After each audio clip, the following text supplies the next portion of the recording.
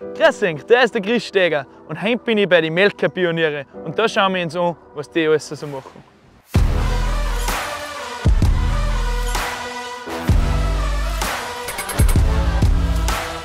Ja, wir sind bei den Melker-Pioniere angekommen und dann ist gleich schon losgegangen mit der Wasserfahrt-Grundausbildung.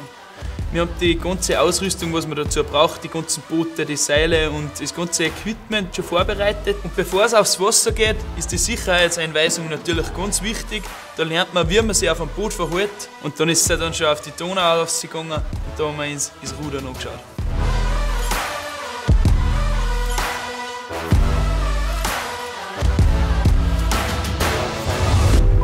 Ja, nach dem Rudern ist es auch schon zum Stangeln gegangen und da tut man mit dem Schiffshaken gegen die Strömung das Boot weiterschirmen.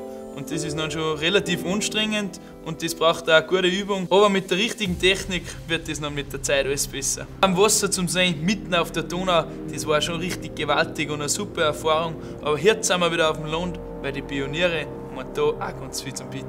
Als erstes hat es eine Einführung gegeben bei einem Mini-Bagger. Da hat man mal erklärt, für was die ganzen Sachen da sind in einem Bagger. Aber ich habe mir auch in ein bisschen einen größeren Bagger reinsitzen dürfen, der was vorne einen Holzgreifer oben gehabt hat. Und da habe ich dann ein bisschen probiert, das Holz zum Aufnehmen und zum Transportieren.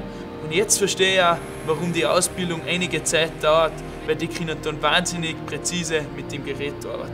Ja, und am meisten Gaudi war dann das Fahren mit der Planierraupen. Da hat mir ein junger Wachtmeister gezeigt, wie das funktioniert da hat man dann schon gescheit was bewegen können.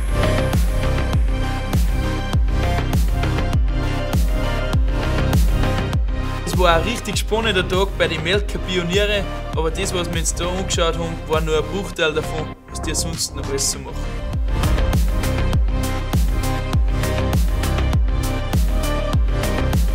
Weitere Infos gibt es auf karriere.bundesheer.at. Das nächste Mal sind wir bei den Luftstreitkräften. Ich hoffe, ihr schaut wieder vorbei. Ich darf mich freuen. Ciao, Baba.